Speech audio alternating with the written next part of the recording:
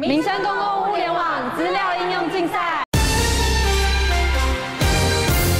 这样子的这个参加比赛之后，除了是有工作坊，对不对？有工作坊的这些专家们给你们意见之外，还有奖金，这是不是一股活水？重要吗？你们觉得？我觉得非常重要，为什么？就是对新创来说需要资金。如果你有创意，那你就不要犹豫，赶快马上来。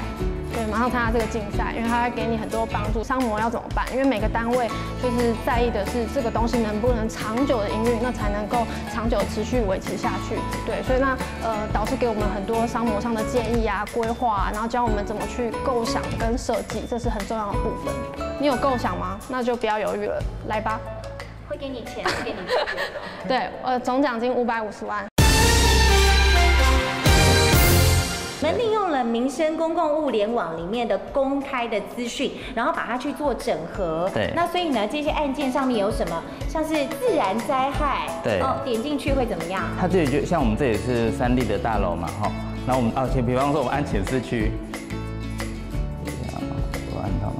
它就会跟我们讲说，我们这里有没有在浅示区上面哦，有没有在断层带上面？对对对对对对哦对。位在台台北的中潜市，中短期内应无太大的风险疑虑。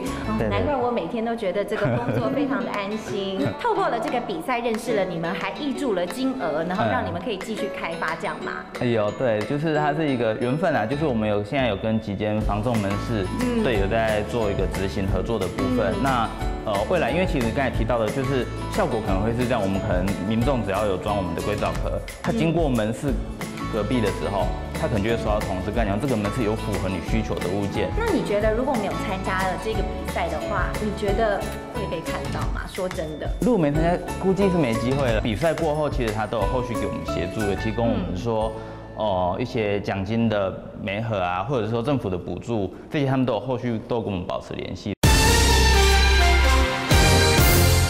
张凌宇起床。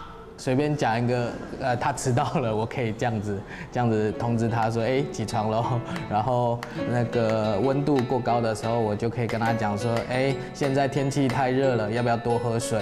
然后或者是雨量雨量过大的时候，他就是直接你要进工区的时候，在工区附近的时候，我就会通知你，哎，现在已经停工了，你不要进去，太危险了。我在是那个参赛的时候，其实他们就会询问说我们，哎，我们有什么疑惑，然后我们有什么比较需要学习的地方，然后他就会判，呃，做一个专场，然后去帮我们去做这这这部分的那个指导。